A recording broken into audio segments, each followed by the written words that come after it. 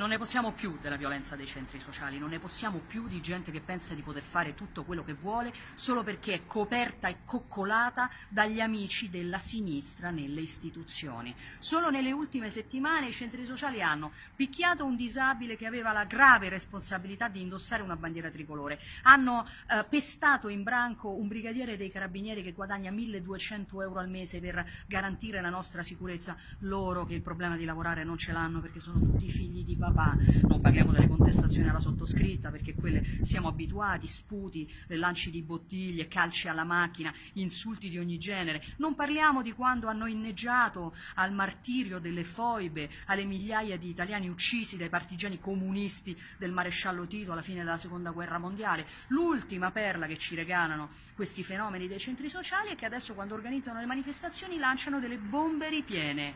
ripiene di chiodi, ripiene di pezzi di metallo che si conficcano nella carne, soprattutto degli agenti delle forze dell'ordine che cercano di sedare le devastazioni di questi criminali. Basta,